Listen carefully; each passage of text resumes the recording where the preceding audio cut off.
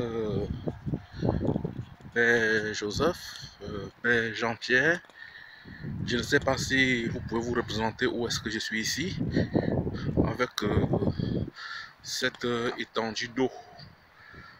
En effet, nous sommes bien à la fiole.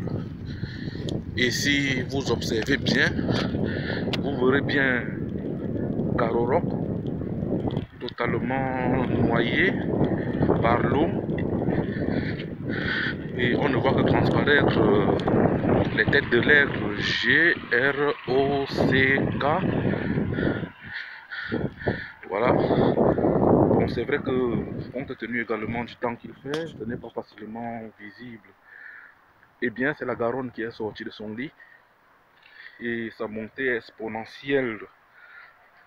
Euh, les sirènes ont sonné tout à l'heure.